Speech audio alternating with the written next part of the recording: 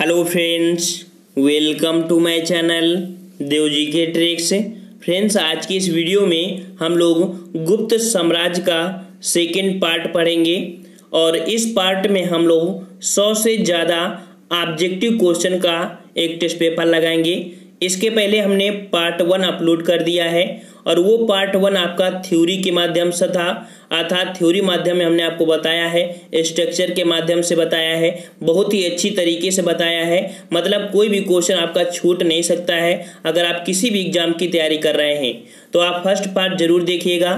First part की जो आपकी लिंक है आपकी इसी डिस्क्रिप्शन बॉक्स में नीचे मिल जाएगी। तो आप फ़र्स्ट पार्ट देख लीजिएगा। तो आपको जो ये सौ प्रश्नों का टेस्ट लगाएँगे, बिल्कुल इजी से लगा लेंगे। तो चलते यहाँ पर स्टार्ट करते हैं। और अगर आप नए हैं तो हमारे चैनल से जुड़ सकते हैं, बेहतरीन तैयारी कर सकते हैं। चलिए, आपका पहला क्वेश्चन कह रहा है। पहला ज्ञात गुप्त शासक कौन था? पहला ज्ञात गुप्त शासक कौन था? ऑप्शन राइट आपका हो जाएगा फ़र्स्ट नंबर, अर्थात आपका यहाँ पर श्री गुप्त हो जाएगा। ठीक है, पहला ज्ञात गुप्त शासक कौन था? श्री गुप्त था।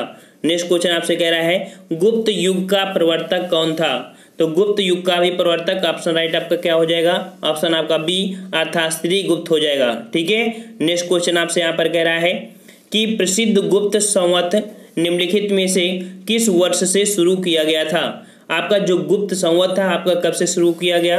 ऑप्शन राइट आपका हो जाएगा यहाँ पर तीन सौ उन्नीस ईस्वी। यहाँ पर आपका ये उन्नीस है। तीन सौ उन्नीस ईस्वी से आपका शुरू किया गया था आपका गुप्त संवत, ठीक है? और नेक्स्ट क्वेश्चन को आते हैं। क्वेश्चन आपसे कह रहा है, इलाहाबाद स्तंभ के शिलालेख में किसकी उपलब्धियाँ वर्णित हैं? अर्थात जो आपका इलाहाबाद में स्तंभ है, शिलालेख है, उसमें किसकी उपलब्धियाँ वर्णित की गई हैं? तो आपके जो सी हैं, अर्थात समुद्रगुप्त के बारे में दिया गया है, ठीक है? समुद्रगुप्त के बारे में। जिन्हें भारत का नेपोलियन भी कहा जाता है। ठीक है? नेक्स्ट क्वेश्चन आपसे कह रहा है कि लिच्छ्वया दैहित्र किसे कहा जाता है? लिच्छ्वया दैहित्र किसे कहते हैं? ये कहते हैं आपके समुद्रगुप्त को ही बोलते हैं। ठीक है? समुद्रगुप्त को बोलते हैं। देखिए, आप लोगों ने गुप्त साम्राज्य पढ़ा होगा। बहुत से बहुत आप पच्चीस प्रश्न निकाल पाएँगे। लेकिन यहाँ पर आपके हंड्रेड प्रश्न भी बन सकते हैं, आप सोच लीजिए। ठीक है ना? ऐसे क्वेश्चन आपको देखने को मिलेंगे। नेक्स्ट कर आपसे यहाँ पर। निम्नलिखित में से किसको अपनी विजयों के कारण भारत का नेपोलियन कहा जाता है? अर्थात यहाँ पर इतनी ज़्यादा विजय प्राप्त किया है जैसे कि आपका नेपोलियन बोनापार्ट था उसकी तुलना आपकी यहाँ पर की गई है। अर्थात उसके विजय अभियान के आ, मतलब के अनुसार। तो आपका भारत का नेपोलियन किसे कहते हैं? सिक्स का ऑप्शन आपका डी अर्थात समुद्रगुप्त को कहा जाता है। नेक्स्ट कर आपसे हरिसेन निम्नलिखित राजाओं में से किसका राज कवि था? जो हर्षेण राज कवि था, ये किसका था? यहाँ पर चार ऑप्शन है और राइट आंसर आपका हो जाएगा बी अर्थात समुद्रगुप्त का था। ठीक है? नेक्स्ट क्वेश्चन आपसे यहाँ पर कह रहा है। कि गुप्त राजा किसने विक्रमादित्य की पदवी ग्रहण की थी? अर्थात विक्रमादित्य की पदवी ग्रहण करने वाला ये गुप्त राजा कौन था? ये राजा था आठ का ऑप्शन आपका यहाँ पर सी हो जाएगा। चंद्रगुप्त द्वितीय, ठीक है? ये आपके पहले राजा थे जिन्होंने विक्रमादित्य की उपाधि धारण की थी। ऑप्शन राइट आपका सी हो जाएगा यहाँ पर। क्वेश्चन आपसे अगला कह रहा है कि चंद्रगुप्त द्वितीय और किस नाम से जाना जाता था? अर्थात जो आपकी चंद्रगुप्त द्वितीय थी, वो किस नाम से जाने जाते थे? तो नौ का ऑप्शन राइट आपका यहाँ पर क्या हो जाएगा? आपका सी हो जाएगा, अर्थात विक्रमादित्य के नाम से जानते थे, ठीक है? विक्रमादित्य के नाम से जानते थे। नेक्स्ट क्वेश्चन आपसे यहाँ पर कह रहा है, फाइयान किसके शासनकाल के दौरान भारत आया था? तो फाइयान किसके शासनकाल में आए थे?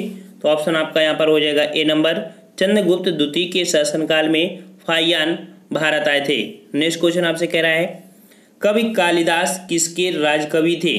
कवि कालिदास किसके राजकवि थे? ये राजकवि थे ऑप्शन आपका सी, अर्थात चंद्रगुप्त विक्रमादित्य। ठीक है? ऑप्शन आपका सी हो जाएगा। नेक्स्ट क्वेश्चन आपसे यहाँ पर कह रहा है कि निम्नलिखित में से कौन सी साहित्यिक रचना शास्त्रीय संस्कृत साहित्य से संबंधित है? ये आपकी जो रचना है, आपकी ये संबंधित है आपके मेघदूतम से, ठीक है? मेघदूतम जो कि आपकी कालिदास की द्वारा आपकी रचित की गई है। आपको बता दें कि गुप्त साम्राज्य में जो हमने पढ़ाया था तो वहाँ पर आपके नौ रत्न अर्थात नौ लोग थे, ठीक है? बड़े अच्छे से पढ़ाया था। आप लोग पिछला वीडियो देख लेने, फ़र्स्ट पार्ट। इसके आपसे, प्राचीन भारत के विख्यात चिकित्सक जो आपके धन धनवंतर थे। धनवंतरी ने अपना परामर्श किसके दरबार में दिया था? ये किसके दरबार में दिए थे? ऑप्शन आपका सी, अर्थात चंद्रगुप्त सेकंड के ही दरबार में दिए थे। ठीक है ना? उन्हीं के नवरत्नों में आपके शामिल थे, जो कि धनवंतर। नेक्स्ट क्वेश्चन आपसे कह रहा है यहाँ पर कि गुप्त वंश का वह राजा कौन था, जिसने हूड़ों को भारत पर आक्रमण करने से रोका था? ये रोके थे ऑप्शन आपका सी, स्कंदगुप्त। ठीक है? स्कंदगुप्त। नेक्स्ट कह रहा है आपसे यहाँ पर कि रोमन साम्राज्य के साथ भारत का व्यापार रोम पर किसके द्वारा आक्रमण के साथ समाप्त हो गया था? ये आपका जो समाप्त हुआ था रोमन पर तो ये समाप्त हुआ था ऑप्शन आपका सी अर्थात होड़ो द्वारा आपका ये समाप्त हुआ गया था। ठीक है? होड़ो द्वारा। निष्कर आपसे, भारतीय संस्कृत का स्वर्ण युग कहा जाता है। तो भारतीय संस्कृत का स्वर्ण युग किसे कहते हैं? ऑप्शन आपका डी, गुप्त काल को कहते हैं। नेक्स्ट क्वेश्चन आपसे कह रहा है अजंता की चित्रकला कृतियों में वर्णित कथानक है, अर्थात जो अजंता की चित्रकला है, उसमें किसको वर्णित किया गया है? ये वर्णित किया गया है आपके जातक कथाओं को। ऑप्शन राइट सी, देखिए, सभी क्वेश्चन आपके एग्ज़ाम में आए हुए हैं। हम आपको जितना भी पढ़ाते हैं, सॉलिड पढ़ाते हैं, जो भी क्वेश्चन आया, आए हुए हैं अभी तक, सबका टेस्ट पेपर आपको एक ही वीडियो में यहाँ पर समाप्त करते हैं। क्वेश्चन अगला कह रहा है यहाँ पर कि अजंता चित्रकारी की विषय वस्तु निम्नलिखित में से किससे संबंधित है? किससे संबंधित है? आपके जातक कथा अर्थात ऑप्शन आपका बी हो जाएगा बौद्ध धर्म, क्योंकि बौद्ध धर्म ही आपका जातक कथा से संबंधित है। निष्कर आपसे कि किसके शासन काल के दौरान अजंता की गुफाएँ निर्मित की गई? तो किसके शासनकाल में? उन्नीस का ऑप्शन राइट आपका यहाँ पर ए हो जाएगा। गुप्त काल में आपकी अजंता की गुफाएँ निर्मित की गई थी। नेक्स्ट क्वेश्चन आपसे कह रहा है कि गुप्त राजवंश किस लिए प्रसिद्ध था? तो गुप्त वंश आपका जो प्रसिद्ध था, आपके कला एवं स्थापत्य कला के लिए प्रसिद्ध था। ऑप्शन राइट आपका ए हो जाएगा। नेक्स्ट कर आपसे, गुप्त काल के चांदी के सिक्कों को कहते थे। ये पिछली बार आपके पीसीएस एग्ज़ाम में भी पूछा गया था। कि जो गुप्त काल में चांदी के सिक्के चलते थे, वो कि उनको बोलते क्या थे? उन्हें बोलते थे रूप्यक। क्या बोलते थे? रूप्यक बोलते थे। नेक्स्ट क्वेश्चन आपसे यहाँ पर कह रहा है कि गुप्त काल में किस धात के सर्वाधिक सिक्के जारी किए गए थे? गुप्त काल में किस धात के सर्वाधिक सिक्के जारी किए गए? बाईस का ऑप्शन राइट आपको यहाँ पर हो जाएगा। कौन सा? ए नंबर, अर्थात सोने के सिक्के जारी किए गए थे। वहीं पर अगर बात करें, शुद्ध सोने के सिक्के किसने जारी किया था? तो विम कटप्रसिस ने जारी किया था, जो कि कुषाण वंश के राजा थे। नेक्स्ट क्वेश्चन आपसे कह रहा है कि गुप्त शासन के दौरान निम्नलिखित में से ऐसा व्यक्ति कौन था, जो एक महान खगोल विज्ञानी तथा गणितज्ञ था? खगोल विज्ञानी तथा गणितज्ञ था, कौन था आपका? तो तेईस का ऑप्शन आपका यहाँ पर सी, आर्यभट्ट थे। ठीक है? आर्यभट्टी, अर्थात यहाँ पर नेक्स्ट क्वेश्चन को रहते हैं। कि गुप्त शासकों की सरकारी या कह सकते हैं कि दरबारी भाषा क्या थी? गुप्त शासकों की। भाई, क्या थी? तो उनकी भाषा थी आपकी संस्कृत। ऑप्शन आपका डी सही हो जाएगा। नेक्स्ट आपसे, शून्य की खोज किसने की थी? तो अभी हमने आपको बताया कि आपका जो आर्यभट्ट थे, इन्होंने खगोली अर्थात ये आपके कई आपकी खोज इन्होंने किया है आर्यभट्ट ने, और इन्होंने शून्य की खोज भी किया है। ठीक है ना? नेक्स्ट क्वेश्चन को आते हैं। क्वेश्चन आपसे कह रहा है महरौली में जंग रहित लौह स्तंभ किसने स्थापित किया? तो जंग रहित मतलब उसमें जंग नहीं लगती है, ठीक है? ऐसे आपके धातु से बनाया गया है। ये स्थापित किया है किसने? तो आपके ऑप्शन आपका एक गुप्त शासकों ने स्थापित किया है। नेक्स्ट कर आपसे वराह मीर कौन थे? वराह मीर कौन थे? तो ये भी आपके गुप्त शासक में कह सकते हैं कि उनके दरबार में नवरत्नों में शामिल किए गए थे। वराह मिहिर ये आपके जो थे आपके आपके डी अर्थात एक प्राचीन खगोलविद थे। ठीक है ऑप्शन आपका डी सही हो जाएगा। नेक्स्ट कर आपसे यहाँ पर कि निम्नलिखित में से वह व्यक्ति कौन है जो चिकित्सक नहीं है? अर्थात इनमें से देखिए, आपका चिकित्सक कौन नहीं है? तो यहाँ पर आपका जो अट्ठाईस का सी है, चौवर्णक। ठीक है, चारवाण। ठीक चरवाक। ये आपके नहीं थे, चरवाक। वहीं पर श्रुत, चरक और अब ये आपके संबंधित हैं, आपके चिकित्सक से। नेक्स्ट क्वेश्चन आपसे कह रहा है मेघदूतम का लेखक कौन है? मेघदूतम का लेखक कौन हो जाएगा? यहाँ पर दो ऑप्शन आप नीचे छुपे हुए हैं, वो आपके यहाँ पर दिए हैं, अर्थात यहाँ पर कालिदास। ठीक है? मेघदूतम किसने लिखा है? कालिदास ने लिखा है ऑप्शन आपका डी सही हो जाएगा। नेक्स्ट कर आपसे कि पंचतंत्र का लेखक कौन है? पंचतंत्र का लेखक तो आपका विष्णु शर्मा है। ठीक है? विष्णु शर्मा। नेक्स्ट क्वेश्चन आपसे यहाँ पर कह रहा है निम्नलिखित में से किनके सिक्के संगीत के प्रति उनके प्रेम दर्शाते हैं? अर्थात संगीत के प्रति प्रेम दर्शाने वाले ये सिक्के कौन है? तो ऑप्शन आपका इकतीस का कौन हो जाएगा? गुप्तों के। ठीक है, गुप्तों के सिक्के हैं, वो उनके प्रति प्रेम को दर्शाते हैं। नेक्स्ट क्वेश्चन आपसे यहाँ पर कह रहा है। देखिए, अब आपको एक्सपेक्टेड क्वेश्चन जो आपके आने की संभावनाएँ हैं, वो आपका टेस्ट यहाँ पर लगाएँगे। अभी तक हम लोगों ने टेस्ट वो लगाया है जो आपके पूछे गए हैं। अब आपको यहाँ पर टेस्ट लगा रहे हैं, जो आपके संभावित प्रश्न है। ठीक है, क्या है आपका?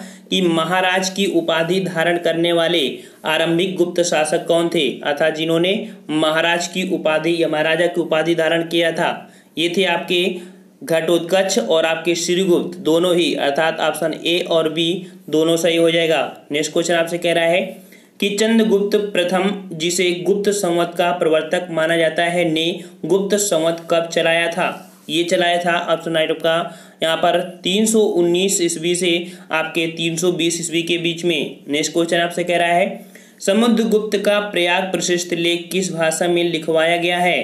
किस भाषा में? तो थ्री का ऑप्शन आपका बी क्योंकि हमने अभी बताया था कि गुप्तों की भाषा क्या थी? संस्कृत थी। नेक्स्ट क्वेश्चन आपसे कह रहा है, किस इतिहासकार ने समुद्रगुप्त को भारत का नेपोलियन कहा है?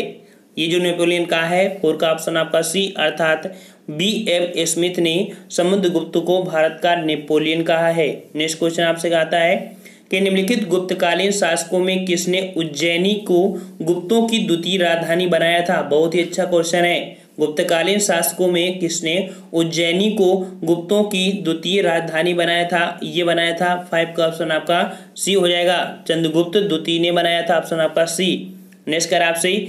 चंद्रगुप्त द्वितीय के समय कौन सा चीनी बौद्ध यात्री भारत की यात्रा पर आया था? ये यात्रा पाए थे ऑप्शन ए फायान जिनकी पुस्तक का नाम है आपका फोकीर की, ठीक है? और होन सांग की पुस्तक का नाम क्या है आपका? सी यू की है, ठीक है?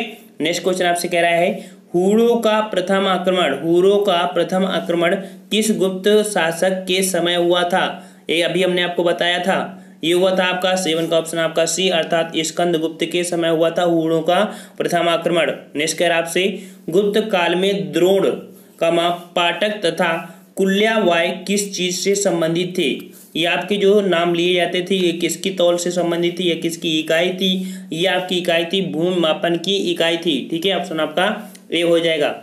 नेक्स्ट कर आपसे कि निम्नलिखित में से ऐसा कौन गुप्त युगीन एक महान खगोल विज्ञानी और गणितज्ञ भी था? ये जिन्होंने आर्यभट्टी ज्ञान को दिया था, अर्थात ऑप्शन आपका यहाँ पर कौन हो जाएगा? नौ का ऑप्शन आपका हो जाएगा आपका यहाँ पर आर्यभट्टी, अर्थात ऑप्शन आपका यहाँ पर सी हो जाएगा, ठीक है? सी हो जाएगा, आर्यभट्टी। नेक्स्ट क्वेश्चन आपसे कह रहा है यहाँ पर कि गुप्त शासकों द्वारा जारी किए गए सोने के सिक्के क्या कहते थे? वहाँ पर चांदी के सिक्के थे, यहाँ पर आपके सोने के सिक्के पूछा गया है। तो सोने के सिक्के को दीनार कहा जाता था, दीनार। निष्कर आपसे यहाँ पर। वर्तमान गणित में दशमलव प्रणाली आविष्कार का श्रेय निम्न से किस युग को जाता है? ये किस युग को जाता है? ग्यारह का ऑप्शन राइट आपका यहाँ पर हो जाएगा बी अर्थात ऑप्शन आपका गुप्त युग हो जाएगा। नेक्स्ट कर आपसे कि निम्न में से किस एक वैज्ञानिक ने न्यूटन से भी पहले या बता दी थी कि पृथ्वी से हर ऊपर फेंकी जाने वाली चीज़ वापस धरती पर आती है? ये किया था। बारह का ऑप्शन आपका बी, अर्थात ब्रह्मगुप्त ने बहुत ही पहले ये खोज कर दिया था। ऑप्शन आपका बी हो जाएगा। नेक्स्ट कर आपसे कि निम्न में से कौन शकों पर विजय प्राप्त करने के कारण सकार कहलाने कहलाने लगा था। सकारी। ये जो शकों पर विजय प्राप्त किया था किसने? तो आपके तेरह का ऑप्शन आपका सी, अर्थात चंद्रगुप्त द्वितीय हो जाएगा ऑप्शन आपका सी। नेक्स्ट कर आपसे किसने अपनी विजयों के उपलक्ष्य में 18 बार अश्वमेघ यज्ञ का अनुष्ठान किया? वेरी वेरी वेरी इंपॉर्टेंट आपका क्वेश्चन है। ठीक है तो 18 बार अनुष्ठान किया था अश्वमेघ युग, ये यज्ञ, ये किसने किया था? तो मयूर शर्मन ठीक है, यहाँ पर ऑप्शन आपका डी हो जाएगा। नेक्स्ट कर आपसे, गुप्त वंश के किस शासक ने सर्वप्रथम महाराजा धीराज की उपाधि धारण की थी? ये धारण की थी, पंद्रह का ऑप्शन बी चंद्रगुप्त प्रथम ने धारण की थी। महाराजा धीराज, ठीक है ना?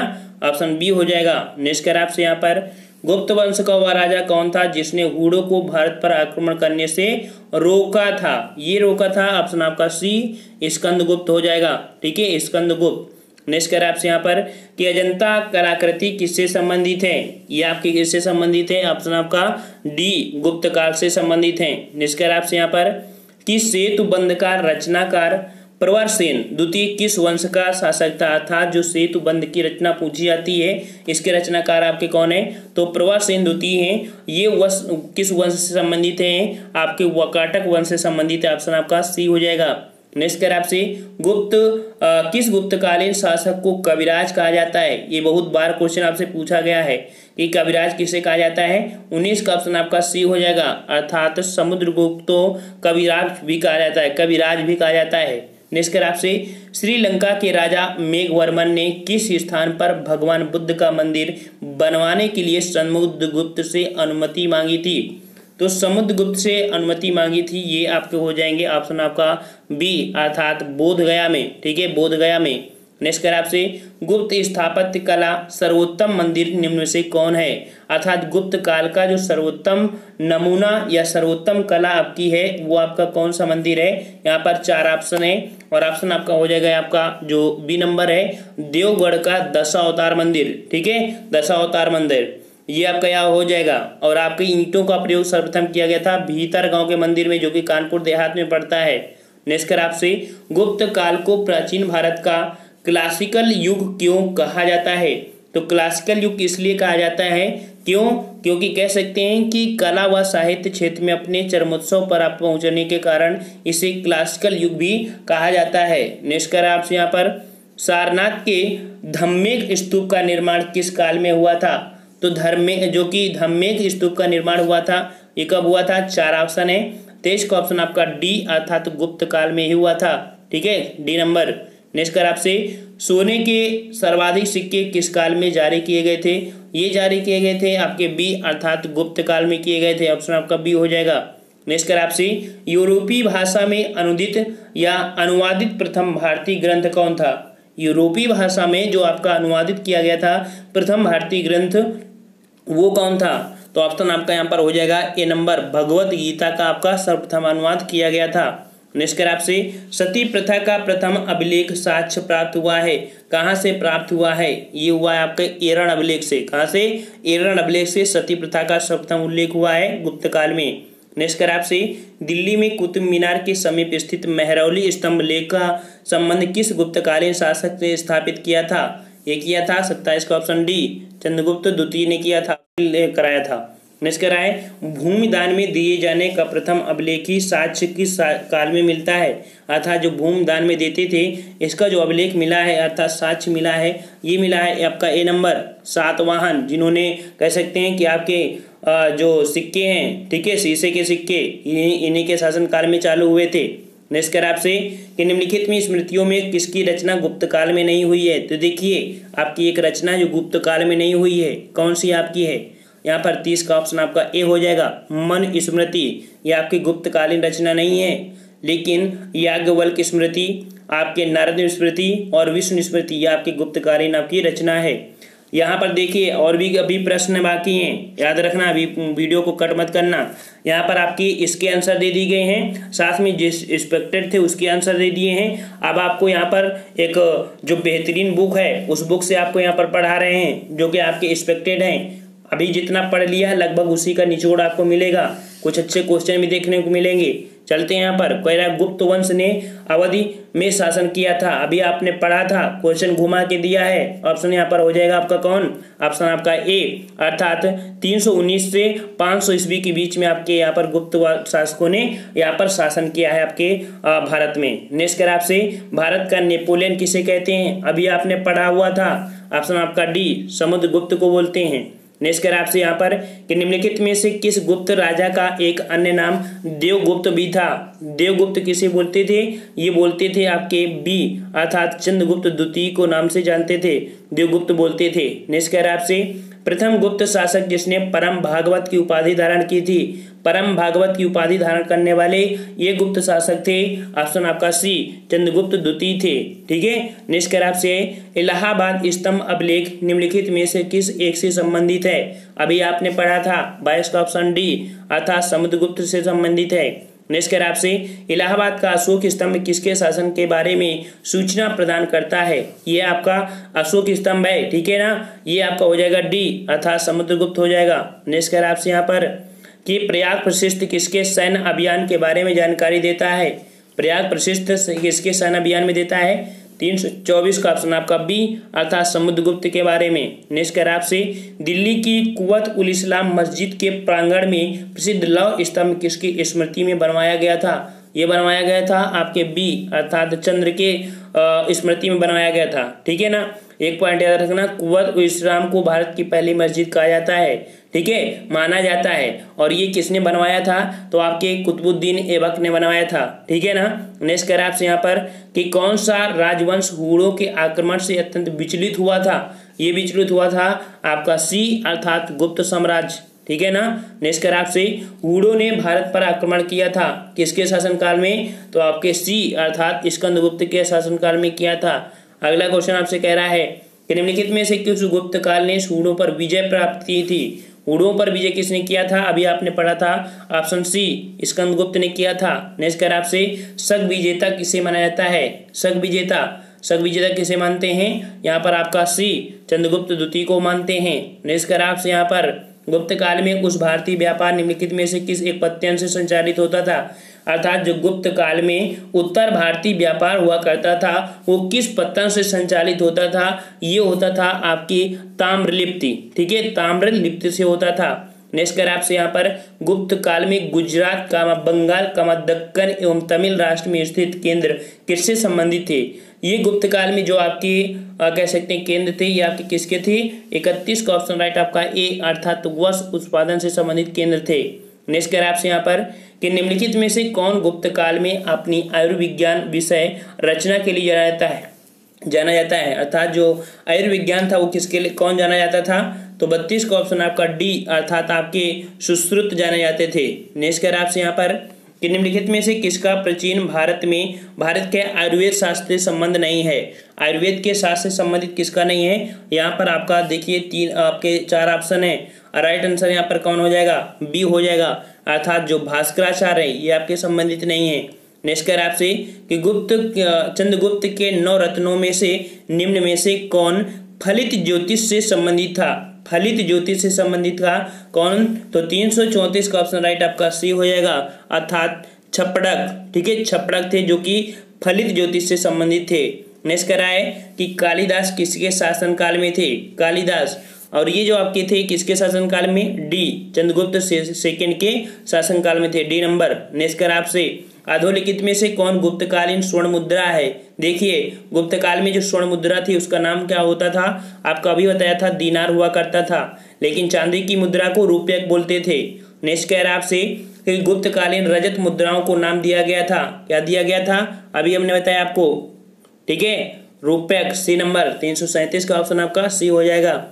नेक्स्ट कह रहा आपसे कि निम्नलिखित में से किस गुप्त शासक ने सर्वप्रथम सिक्के जारी किए थे? सर्वप्रथम सिक्के किस गुप्त शासक ने जारी किया था? तीन सौ अड़तीस का ऑप्शन राइट आपका ए हो जाएगा। चंद्रगुप्त प्रथम ने जारी किए थे। नेक्स्ट कह कर आपसे गुप्त काल में लिखित संस्कृत नाटकों में स्त्री और शूद्र बोलते थे। ये जो बोलते थे, ये कैसी भाषा बोलते थे? तो भाई, ये जो स्त्री और शूद्र थे, ये बोलते थे प्राकृत भाषा, लेकिन जो गुप्त काल के शासक थे या उनके दरबार की बात थी, वो आपके संस्कृत थी। लेकिन यहाँ पर आपका शूद्र जो बोलते थे, स्त्री वो आपकी प्राकृत भाषा बोलते थे।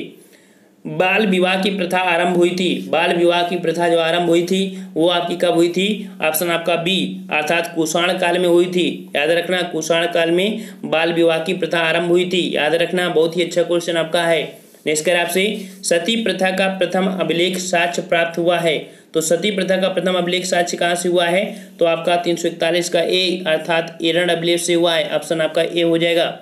नेक्स्ट कर आपसे, गुप्त संवत की स्थापना किसने की थी? गुप्त संवत की स्थापना आपका ए चंद्रगुप्त प्रथम ने किया था। नेक्स्ट कर आपसे, नगरों का क्रमिक पतन किस काल की एक महत्वपूर्ण विशेषता है? फिर से पढ़ लीजिए। नगरों का क्रमिक पतन किस काल की एक महत्वपूर्ण विशेषता है? ठीक है? तो क्रमिक पतन जो आपका है किस काल में हुई थी? तो तीन सौ तैतालीस का ऑप्शन आपका यहाँ पर हो जाएगा ए, अर्थात गुप्त काल में है। ठीक है? नगरों का क्रमिक पतन हुआ था। नेक्स्ट कर आपसे, किस शासक वंश ने मंदिरों एवं मंदिरों एवं ब्राह्मणों को सबसे अधिक ग्राम अनुदान में दिए थे? ठीक है? तो ब्राह्मणों मंदिरों एवं ब्राह्मणों को सबसे अधिक ग्राम अनुदान में दिया था। किस वंश ने? तो तीन सौ चौवालीस का ऑप्शन आपको यहाँ पर हो जाएगा। ए नंबर गुप्त वंश ने दिया था। नेक्स्ट कर आपसे यहाँ पर, प्राचीन भारत में किस वंश का शासनकाल स्वर्ण युग कहा गया? ये स्वर्ण युग आपका कौन था? आपका गुप्त काल को स्वर्ण युग कहा गया। नेक्स्ट कर आपसे यहाँ पर कि निम्नलिखित में से किस काल को स्वर्ण युग के नाम से जाना जाता है? ऑप्शन आपका ए हो जाएगा, गुप्त काल को। नेक्स्ट क्वेश्चन आपसे कह रहा है, गुप्त युग में भूमि राजस्व की दर क्या थी? बहुत ही अच्छा क्वेश्चन आपका है। पूछा गया था पिछली बार पीसीएस में।